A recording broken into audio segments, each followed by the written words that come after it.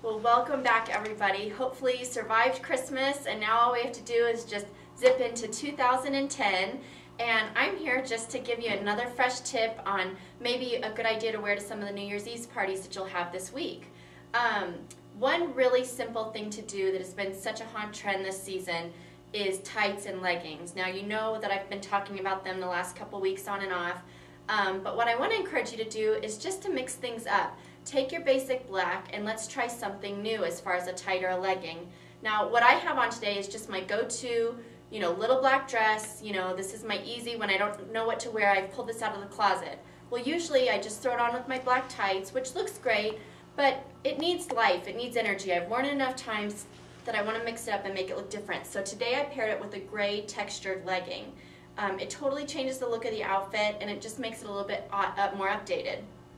Now what we've got at G. Loretta, we've got all kinds of goodies. I've got um, leggings in chocolate. I've got it in gray. I've got them in a navy blue.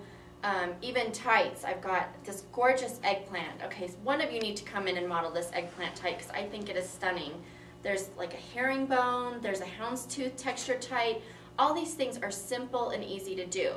Now there's just one little rule that I have is that you have to keep it simple because if you decide you want to do a textured tight and then you pair it with you know a dress like this with pattern you're going to end up looking like a crazy person. So just keep it very very simple. Remember that the tights are going to be something new and different and that's where people's eyes are going to go. So give them one focal point whether it's the legging or the tight but don't do too much busyness texture pattern um, on top or even with your shoe.